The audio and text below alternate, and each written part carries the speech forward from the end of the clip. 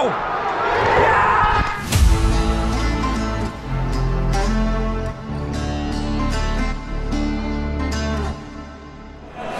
right, hello and welcome to the Matchday Vlogs YouTube channel. As always, please remember to smash that like button and hit subscribe because it really does, really does make it into the channel. We're here at St Mary's Stadium for the Championship clash of Southampton FC versus Queens Park Rangers. But our minds are dominated by the news of the last, effectively, well, 12 to 24 hours really, of Nathan Tella having a medical at Bayer Leverkusen and now realising that Che Adams isn't here, um, not in the team sheets at all, not even in the stadium, and it kind of feels like he's on the way out as well. Um, it's, it's a tricky one, this, isn't it? Because I think at the beginning of the transfer window, we all thought Tella was maybe going to be snapped up by Burnley for 15 million quid. Leverkusen to come in and slap 20 million quid on the table. And it's kind of like, it puts us in a different position, really, doesn't it? I mean, I think 20 million quid for Tella is a decent, decent bit of business, but you got to think of what it's going to take away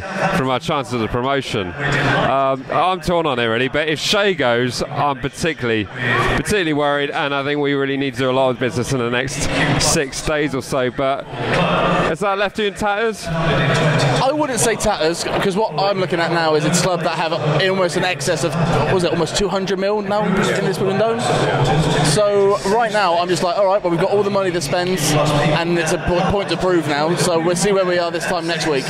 For me, to be honest, when that window closes, where we are then will really sort of dictate how I'm going to feel about it. Um, no, we've got Downes and, and Fraser to see today, so bright side of life. Let's see what that's got. You know, most information from them, but it's not great, is it? Doesn't feel great. Not great. Um, but looking at the team sheets, I mean, we do have Amo-Ameyaw, uh, Stein, which looks pretty good. Uh, Stuart Armstrong into midfield. Alcaraz is back fit, so that's all looking good. Of course, we've got Ryan Fraser on the bench, uh, but no Mason Holgate. I'm quite surprised with Fraser being included. I mean, that was done last night, wasn't it? Well, I think he was pretty much ready to go anyway, because I think he was meant to be playing that behind closed doors game against Brentford in the week. I think Holgate was meant to be in that game as well. I think that's what that game was meant for. That 2 1 win over Brentford. But instead, it all seemed to be pushed and delayed a little bit. But um, I think Fraser knows the system because he's worked with Russell before. Same for Downes, you know, I sort of thought Downes wouldn't start today because he had the illness and he might not be up to fit. But I think a lot of these players know what they're doing. And it's kind of like if you, if you sign a player in the Prem at the beginning of the week, you see them, maybe they're just good, good to go. And given the fact that how we are liked by two players today, probably wasn't expected. Probably a little bit quick, but not not surprised. Not surprised, not surprised indeed. I mean, for me, going back to the whole transfer situation, um, I'm kind of, I'm a bit worried that, we, that Joel Piroe went on to Leeds, and I kind of thought that that meant Che was staying. But the club have had to make a stance and maybe thought that Joel Piroe wasn't worth 12 million quid, and they've got their eyes somewhere else. But where? Not to put long-term factors into this, but 12 mil is Joel Piroe, the, the, the striker that's going to see you through into the Premiership. And I think if Saints want to spend that kind of money, they want someone with a bit of progression in them. That's why you think 15 million for Shea Charles. You know, maybe they're thinking 12 apparently. Exactly. So apparently, maybe they're thinking 12 mil for a player that's going to do well this season, but maybe not cut it next season, or a player that's going to be going to absolutely rinse it this season and be something worth next season. But I don't know. I don't know what's going on right now. All I know is that I'm ready to watch a football game, and that's what we're here for. That is what we're here for. It's Queens Park Rangers up next, who have Armstrong in their side as well. So um, that's looking looking like their threat. I mean, a lot of people are banking on this as an easy home win, but we'll certainly see about that. You know, with us being down without Tella and Adams, but you know there should be enough in this side to still get a result here today. But we shall see. They'll certainly be going for it. It's a sellout crowd here at St Mary's, and it looks like QPR are taking the full allocation, so hoping for a decent atmosphere and a home win. Anyway, right, kickoff coming up.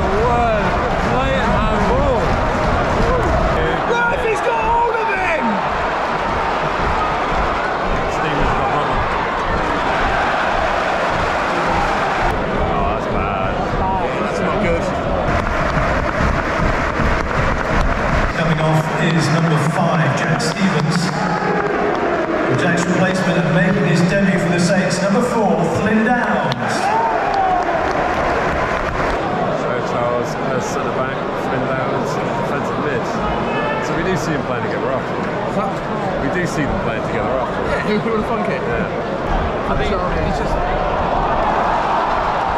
Yes, now!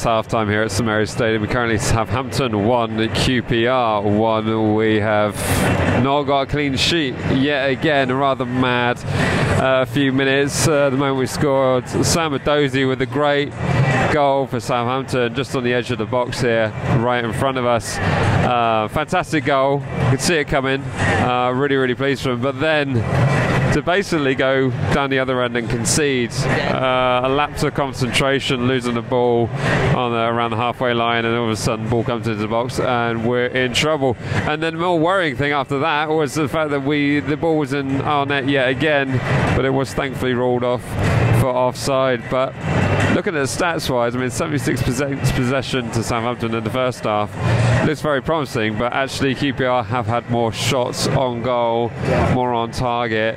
Um, they're definitely playing the long ball though. I mean, they got their Sinclair Armstrong who's basically hanging around with our centre backs the whole game, waiting for the ball to break away. But They're not. Um, how are we feeling? I mean, they're not playing smart football. They're playing hit and hope. And to be fair, you know, their goal was a, a shot from distance, has hit the post and gone in. So, as we were just saying, this time it's not even a shot on goal, and we've still conceded.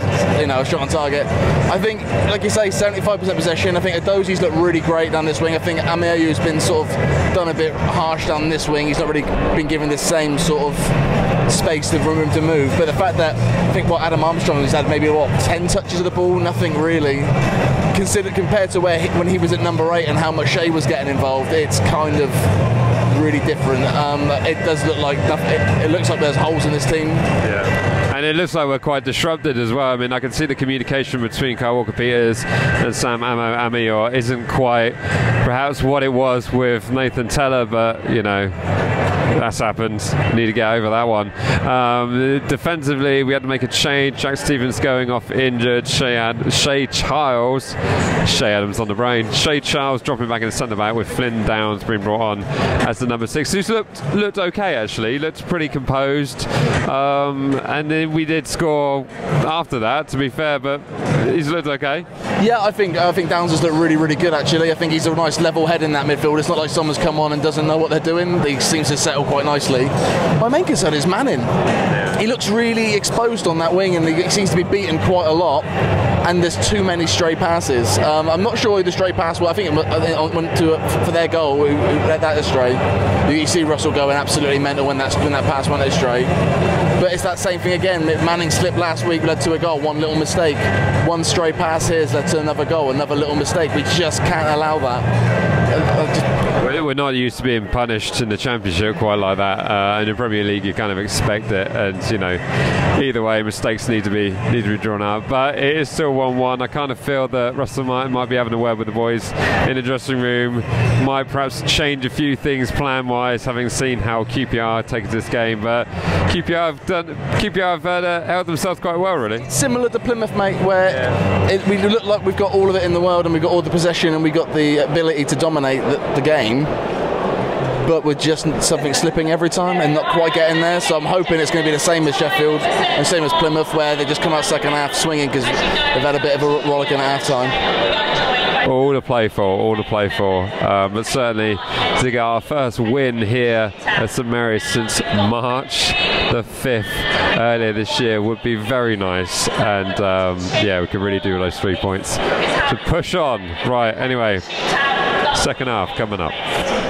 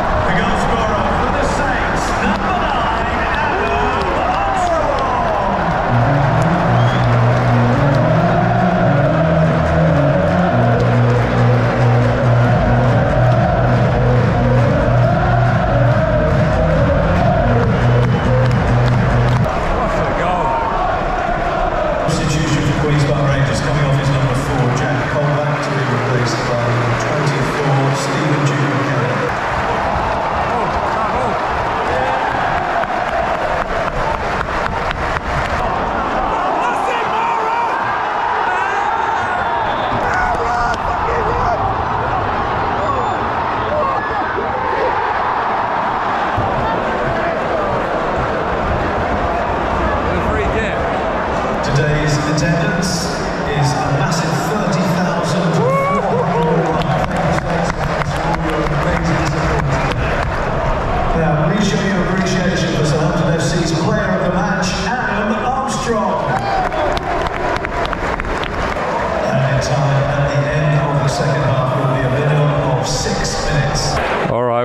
Six minutes of stoppage time here at St Mary's Stadium.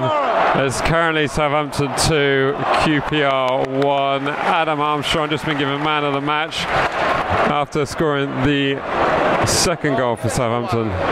Southampton here in possession, just trying to play out the game here. But I think it's been a, it's been a decent performance. It's been ropey in places, but considering the disruption before the game and the disruption in the lineup, I mean, it's been okay. Do you know what? First half reminded me a little bit of last season in the sense them eh, when we were playing at our best. Where you're like, these youngsters are doing all right, but they could be a bit more here. Then Ryan Fraser coming on, changed the game. Adam Armstrong dropping into weight, changed the game. We're learning this team still as we go, and this is another learning curve. It- it- however, what I think we'll say is we need to buy. We do need to buy. Keep it on the break here. Touched on. Oh, lucky. Get it out! Oh my goodness, we certainly do not make it easy. QPR player basically just cut the ball back across. It was right in the five yard box, to be smashed in. Thankfully, there was a Southampton player that went in, but oh my goodness. About a minute and a half left to be played here. This would, should have happened, be the first win that Southampton have seen here in the league since the 5th of March 2023. So we are due one. Just corner flag now, please, boys. Corner flag. One. He's blown, and there it is. As always, remember to like on subscribe. We'll see you in the next one. All right, see ya.